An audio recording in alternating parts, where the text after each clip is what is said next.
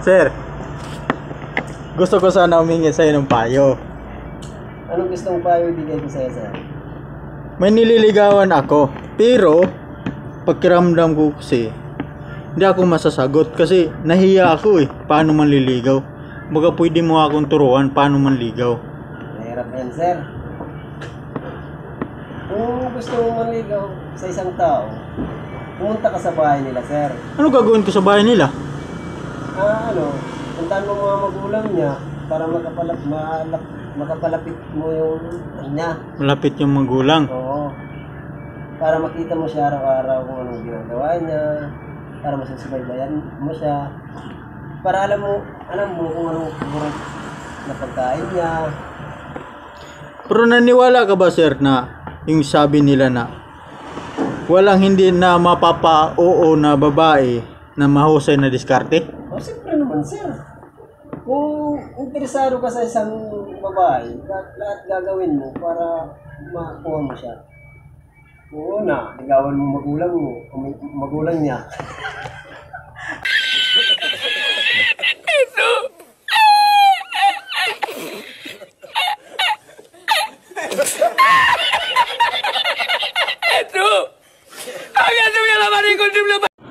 Sir, sa 65 ka babae na dumaan sa buhay mo.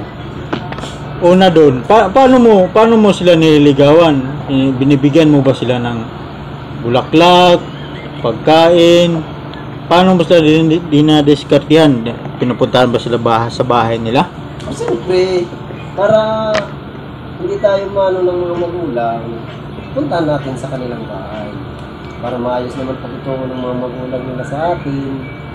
Para sa para hindi naman tayo sabihan ng mga magulang nila na hindi lang natin pinaglalaruan yung anak nila. Iligawan natin ng matino. Punta natin sa bahay nila, ipaalam natin ng maayos sa mga magulang.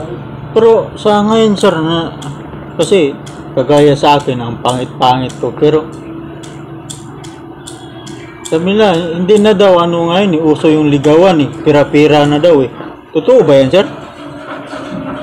Totoo yan, kasi yung iba, practical na yun. Pero hindi naman lahat ng babae na binibili sa pera. Hindi naman kinikita sa itsura.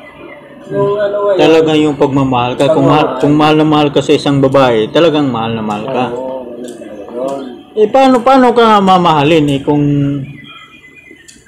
hindi ka naman niya kilala tapos gustong gusto mo siya eh anong diskarte mo dyan kunin mo yung pangalan niya tapos cellphone number tapos yung kung sa kung taga saan siya na saan siya nauwi